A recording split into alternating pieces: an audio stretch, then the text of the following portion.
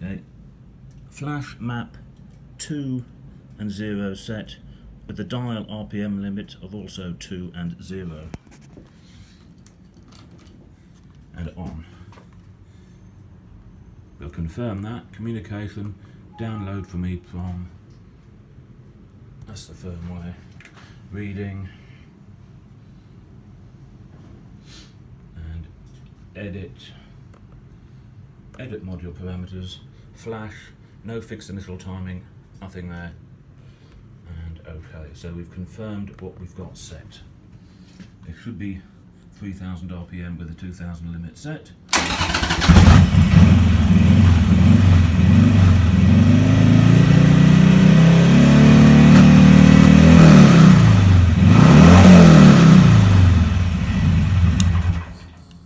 As you can see, no limit.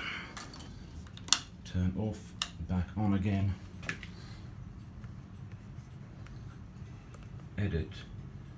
Edit module parameters. Fixed RPM limit. Set to 3000 in the software. And OK. Communications. Upload to EEPROM. Now we've got it checkbox selected for 3000 upload complete okay turn it off. Back on again.